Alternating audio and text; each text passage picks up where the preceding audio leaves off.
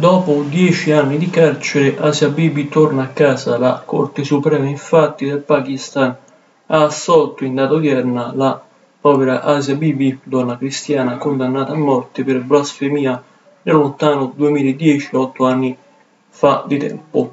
Il verdetto accoglie il ricorso presentato nel vicino 2015 contro la condanna emessa dall'Alta Corte di Lahore LHC, che nel novembre del 2014 confermò la decisione di un tribunale del 2010.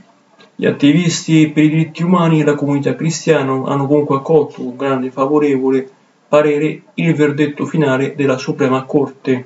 Kadim Hussain Rizvi a capo del partito islamista Terek e l'Abai Pakistan, invece starebbe organizzando una protesta di tipo nazionale contro la soluzione della donna in questione.